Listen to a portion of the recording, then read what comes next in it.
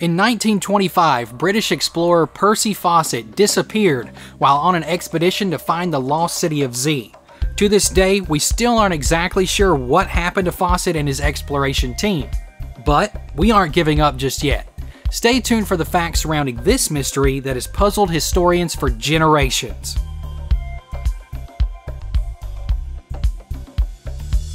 First things first, you might be asking yourself, who in the world is Percy Fawcett? Right? Well, Lieutenant Colonel Percival Harrison Fawcett was born on August 18th of 1867 in the seaside town of Torquay in Devon, England.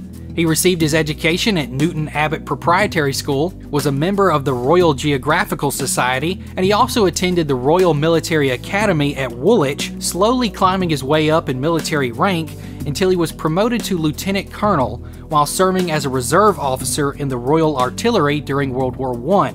During his service, he received three mentions in dispatches and was awarded the Distinguished Service Order. Fawcett was married to Nina Agnes Patterson, and they had two sons. Jack, born in 1903, and Brian, born in 1906. Another interesting note is that Fawcett was friends with famous authors H. Rider Haggard and Sir Arthur Conan Doyle.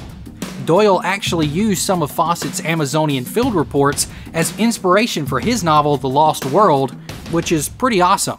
Percy Fawcett would cover a lot of ground in South America before his final exploration that's so shrouded in mystery. His first expedition was given to him by the Royal Geographical Society in 1906. He was 39 years old and was tasked with mapping the jungle area at the border of Brazil and Bolivia. During this expedition, Fawcett claimed to have seen and shot a 62 foot long giant anaconda, but scientists ridiculed him for his story. He also reported several mysterious unknown species, including the Bolivian mitla and the giant Apazauca spider. He found the sources of the Rio Verde and the Heath River in 1908 and 1910, respectively, and Fawcett claimed to have found dogs with double noses in 1913.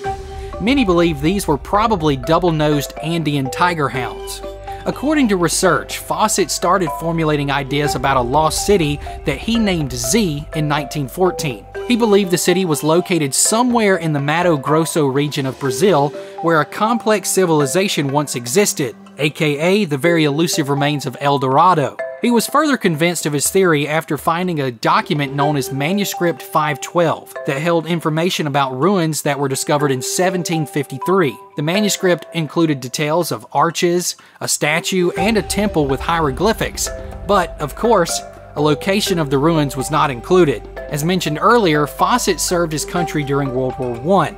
This put a temporary halt on his plans to find the lost city of Z, but he returned to Brazil as soon as he could after the war had ended. In fact, he made a solo attempt to find Z in 1920, but this only resulted in him developing a fever and shooting his pack animal while ill. On April 20th of 1925, Fawcett would head out in what would become known as his final expedition to Brazil. He received funding for the trip from a London-based group known as The Glove, and would take his son Jack and longtime friend Raleigh Rimell with him. He was also accompanied by two Brazilian laborers, two horses, eight mules, and a pair of dogs. The last communication from Fawcett was written in a letter to his wife on May 29th of that same year. The letter reported that they were at a location known as Dead Horse Camp and mentioned that Fawcett had plans to go into an unexplored territory with only Jack and Raleigh. It is believed that he took only two companions in order to travel lighter and minimize the chances that hostile native tribes would notice them. Fawcett's tone in the letter was overall optimistic, but clearly something went wrong shortly after it was written. The various theories regarding his disappearance include being killed, dying of disease, and possibly even living out the remainder of his life in the jungle with no intentions of coming home. Here's a list of some of the native tribes that were accused of murdering Fawcett and his crew. The Kalapalos were included because they were the last tribe to have seen him, and all the others make the list because they lived in the area that Fawcett journeyed into. In 1951, an indigenous peoples activist, Orlando Villas Boas, claimed to have been given the skeletal remains of Percy Fawcett. Orlando also reported that a Kalapalo tribesman told him that they had killed the crew. The story goes that Fawcett and his companions were seriously ill. They had also lost most of their gifts for the native tribes in an accident on the river. Not providing gifts for the natives was considered a serious no-no, so the Kalapalo tribe they encountered decided to kill them. The bodies of Jack and Raleigh were thrown into the river, and Percy received a proper burial due to being a distinguished older man. Danish explorer Arne Falk-Rønne visited the tribe during the 1960s and supposedly confirmed Orlando's story from the 1950s. This is where it gets even stranger. The bones originally thought to have been Fawcett's were discredited by further scientific analysis. In addition to this, English explorer Benedict Allen visited with the Kalapalo tribe in 1998. An elder of the tribe told Allen in a recorded BBC interview that the bones found 45 years earlier were not Fawcett's, and that his tribe had nothing to do with Fawcett's disappearance. No conclusive evidence supports either side of the story I just told you. Go figure.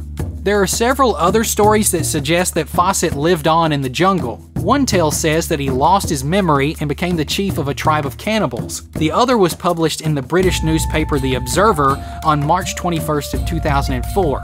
This article mentioned that television director Misha Williams believed that Fawcett founded a commune in the jungle that was based on theosophical principles and worshipped his son Jack.